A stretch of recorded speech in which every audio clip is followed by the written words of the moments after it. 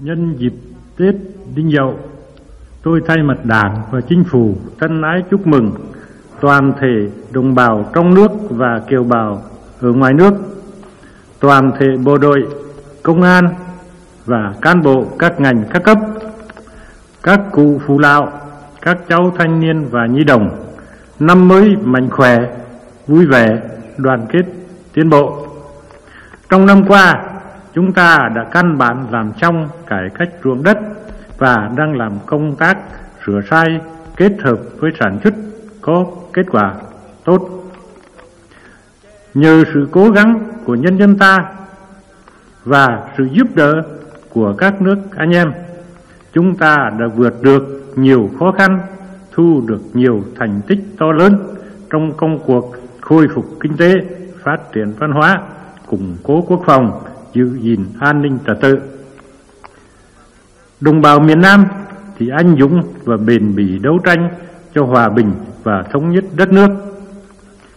Sang năm mới, khẩu hiệu của chúng ta về kinh tế là tăng gia sản xuất, thực hành tiết kiệm, nâng cao ý thức tự lực cánh sinh, nhằm cải thiện dần mức sống vật chất và văn hóa của nhân dân ta. Về chính trị là thực hiện đúng cương lĩnh của mặt trận Tổ quốc Việt Nam, đoàn kết toàn dân, củng cố miền Bắc,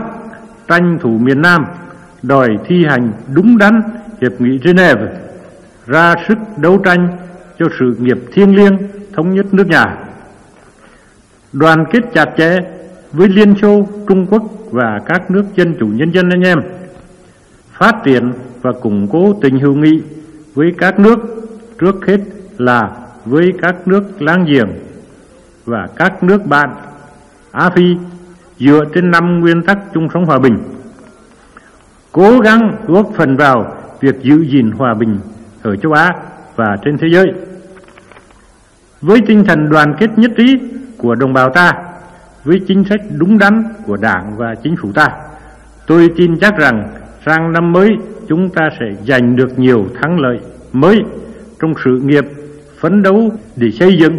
một nước Việt Nam hòa bình, thống nhất, độc lập, dân chủ và giàu mạnh.